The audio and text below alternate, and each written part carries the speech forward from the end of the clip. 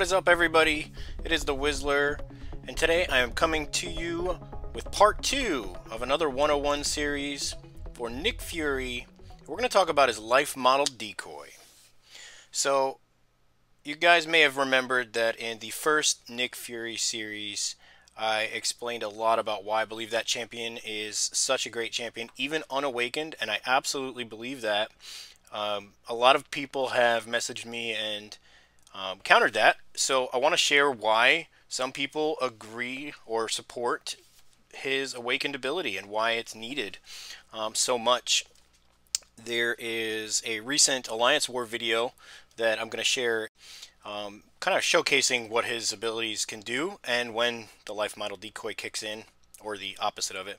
So let's review what that is. So his signature ability, life model decoy, it is a passive ability. When Nick would be knocked out, his life model decoy is destroyed and he returns to the fight with a permanent Fury's Fury buff and stun immunity.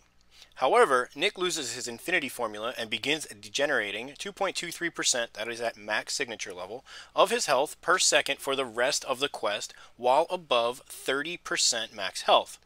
The destruction of Nick's decoy removes all effects and isn't affected by ability accuracy reduction. So what does this mean? I mentioned earlier that it was kind of like an extra life, and in essence it is, but it's also like a huge power boost with additional enhancements. So, for starters, you're stun immune. The rest of the fight, if you are at this level, you are completely stun immune against any of these opponents. There are some caveats. You can't stay above 30% health. Even if you regenerate above 30% health, you will begin to degenerate it.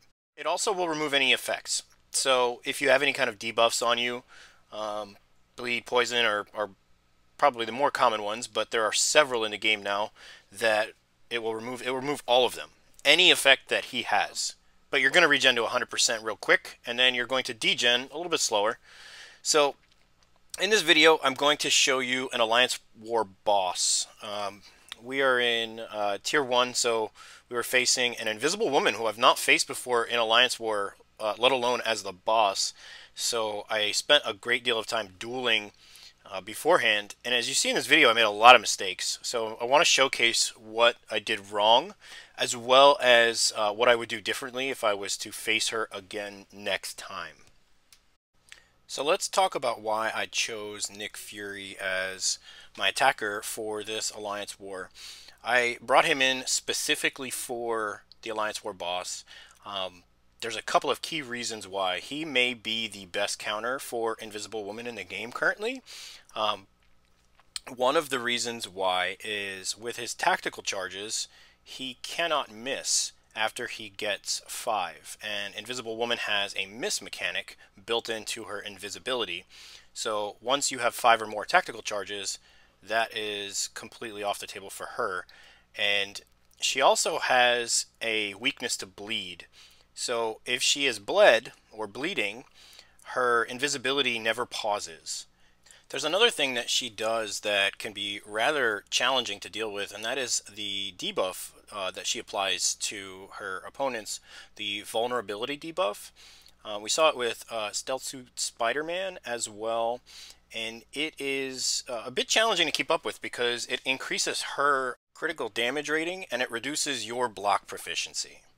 If you miss or make one mistake, you can be you can be done very quickly against Invisible Woman. So at 10 tactical charges, you purify all effects. All non-damaging debuffs before he goes into life model decoy. So keep that in mind. You just need 10 to get around that mechanic. And if you're in the life model decoy phase, all the damaging debuffs that you receive. So it doesn't matter if it's that particular one or any of the other ones. So another huge win. Um, the last one is um, 15 or more. He becomes unblockable.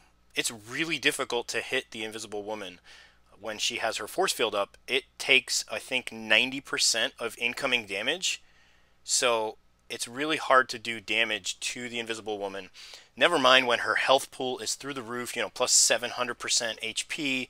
It is insanely difficult. But we're going to go to the video here, and I want to show you what this can look like and where it can go really bad, and then where it can go really good. So let's take a look. Alright, so to get started, I'm fully boosted for this, but do not have any suicides on. I also have the Resonate Mastery on. Um, it's just left over from earlier fights, and I didn't take it off. So as you can see here, I'm trying to apply the internal bleed, and it's not going super well.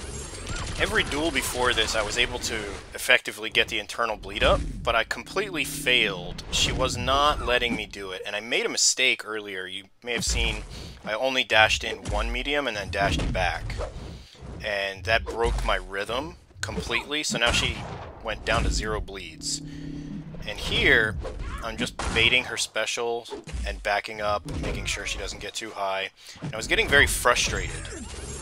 And the reason I was getting frustrated is because the internal bleed was not up, and at this point in every duel that I had done, it was already up and I was into a decreasing 20 tactical charges plus, so I had a um, pre-life model decoy Fury's Fury up, but I obviously don't have that yet, so I let her hit me with the SP1, and it didn't knock me out, and that's because I had the Resonate Mastery up, and it weakened her it was very frustrating. So at this point, I'm still in the original phase. I'm still in phase one. So I said, now's the time. I'm just going to let her build up my power and get close to a SP2. And this is where my frustration built even further. So this is where I started to make other mistakes. Um, I went to an SP2 and I did not want to do that. I wanted to maintain right before then and hit an SP1 to get 8 tactical charges. So now I had to slow the fight down even further. And as you can see, I only have a minute left. And she's still at 68% damage, or health, excuse me. So here we go. I got my first SP1 off in the real Nick Fury form. So I have 8 tactical charges but I'm not getting any extra extension on the bleed, so I'm a little worried. But this is where the true power of Nick Fury comes in, because I'm almost at another one, and you're going to see here, I'm going to bait her SP2 out. And once I do that, the fight is going to change very quickly. Alright, so now, launch my SP1, I have 16 tactical charges. I'm completely unblockable at this point. The fight has 20 seconds left, 25 seconds left.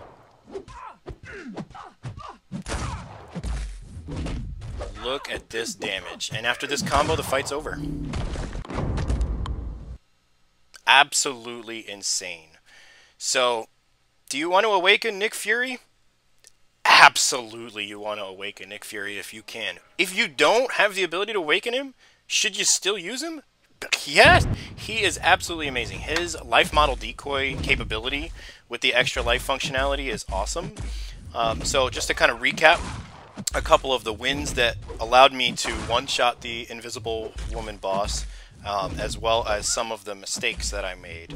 So the first and foremost mistake uh, that I made was not being able to get the internal bleed up, and I put a lot of attention into that in the early stages of the fight. So I probably wasted about a minute and a half focusing on that one aspect of Nick Fury, and I was not able to complete combos because that was what I was doing. So I wasn't doing any damage to her whatsoever. Because remember, his real damage comes after that light ending five hit combo. That's where the true bleeds come in.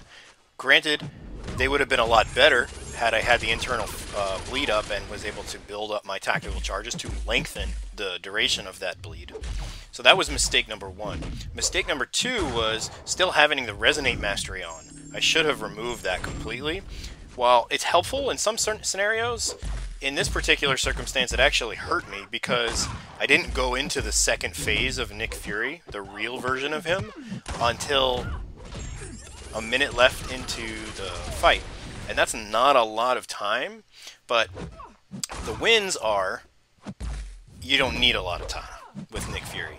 He absolutely destroyed her in 30 seconds. So had I gone into phase two immediately, just let her kill me off quickly. That is what I would have done differently going into this boss fight again. Um, because I could have ended it in less than a minute, probably 45 seconds. And that's the strength of Nick Fury. He is completely amazing if you know how to use him and when to use him. Is he going to be the boss killer for every Alliance War? No. Is he going to be for a lot of them? yes, he is that good. Evade champs, not a problem. Debuff champs, voids, not too much of a problem. Now you've got to get to 10 tactical charges for that to be uh, shrugged off. So keep that in mind. You got to knock down the opponent too. So that one's a little bit trickier, but he can do it. Once he goes unblockable, he's a boss killer though. So thank you guys very much for watching. I really hope you enjoyed this uh, part two series of Nick Fury. If you have any questions, comments, please go ahead and put them below. Hit that like button. It helps me out. And uh, subscribe if you want to see more. Also, if you're interested in seeing some specific champs, older, newer, uh, I would love to know what you guys want to learn. And uh, see you next time.